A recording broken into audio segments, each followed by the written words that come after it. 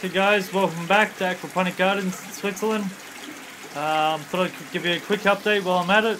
Uh, of the aquaculture system downstairs.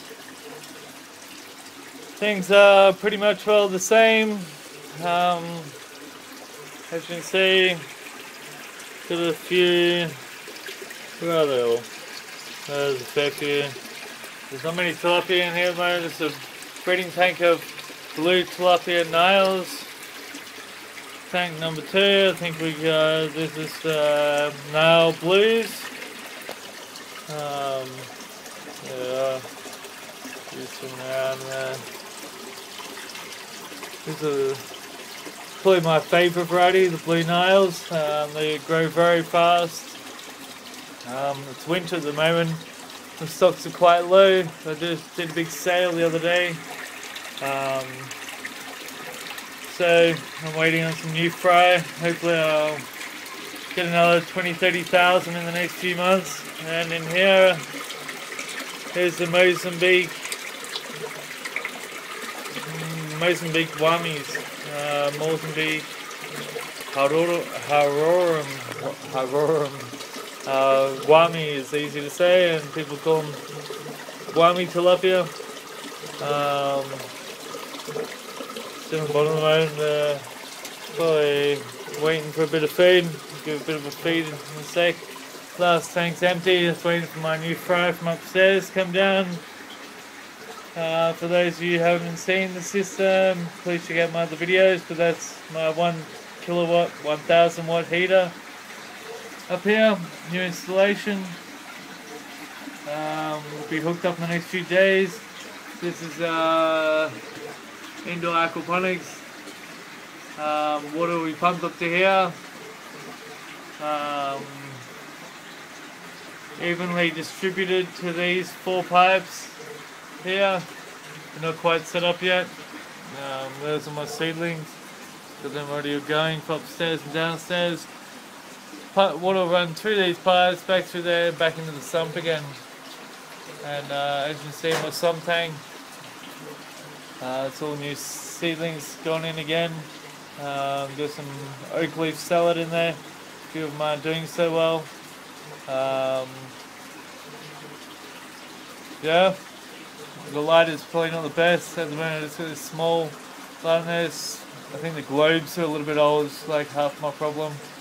Um, two times 55 watt globes, I think, is in that. 110 watts or so.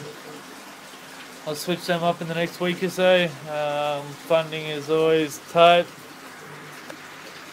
Uh, biofilters are working awesome. Uh, as you can see, it's a moving bed biofilter. Uh, I have zero ammonia, zero nitrites, and nitrates. Know manageable. I haven't done a water change in here yet. Um, just do top ups due to humidity loss and so. Um, I do lose a bit of water through humidity, not much. So I do a bit of a feed while on my videos. So bear with me one second. I will take it down here. See if they're hungry. Always shy when the lid's open. Close the lid and they'll be eating within a few seconds as you can see. Got the lids here. Um, just the tops cut off the thing, a few hinges installed. Yeah, the fish won't eat for us right now. Anyway, system's going good. Um, still in the minus degrees outside, minus 5 degrees Celsius. Um, inside it's 21 to 22 degrees at night time because the lights are on and uh, about 18 degrees during the day. Um, as you can see, the there'll also be four pipes running across this back wall behind these tank lids. And this will run back into this end tank here. Okay guys, thanks uh, for watching. Those of you want some information, please write to me or check out my website www.aquaponicgardens.ch Um, you'll probably find a link somewhere on one of my YouTube pages. Um, please check out all my videos. Um, do I have a look here? In the back there, the very back ones you see, the bok choy. Then we have some uh, red uh, leaf mustard salad. Um, I don't know what you call that in. We call it rode Platz, and um, I don't know what you call that in English, even though I am an English speaking person. Um, at the back there, we got red oak leaf salad. Middle we have some parsley and green oak leaf salad, and then has some gherkins, some think there's some capsicum growing just there. Not many come up yet, just a couple. And the front here got some leeks. Uh, I use a lot of leeks and onions for insect control to tend to keep uh, insects at bay a lot. Um, in this room altogether, I will be holding about 500 plants. Um, in Switzerland, I can sell each salad for about three francs. Three, three francs is three Australian dollars per salad.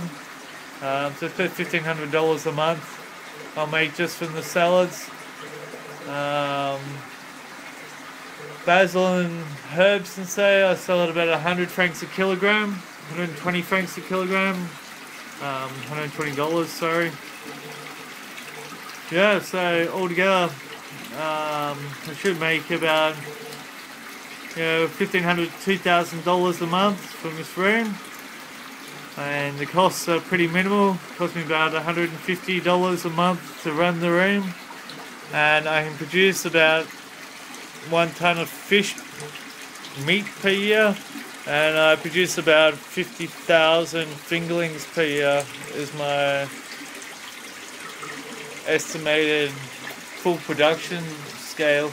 I haven't reached it yet, but uh, I have the, the facilities to produce everything.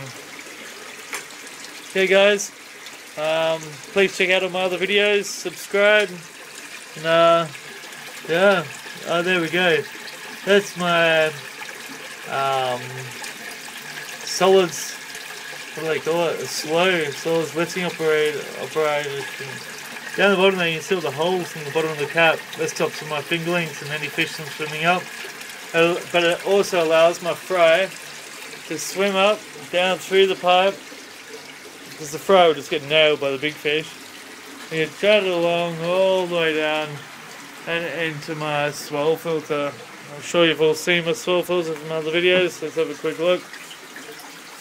The same flow from the swell filter, swells up around the back there. See bit of a pre-build up at the moment. Should go and clean that.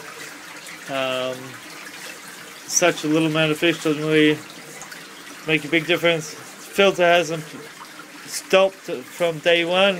It's um, maintenance free and works like a charm. Um, there's no, no, not a one little piece of poo that actually makes it through to my biofilter and then through to my sump eventually. And all I find in the bottom there is dead bacteria. And these are easily siphoned out once every six months to, yeah, once every six months. Um, I find the live bacteria actually eat the dead bacteria as well. And I haven't cleaned it at all yet but uh yeah. Okay guys. Thanks for watching. And um yeah. Stay tuned for more videos thanks guys. Bye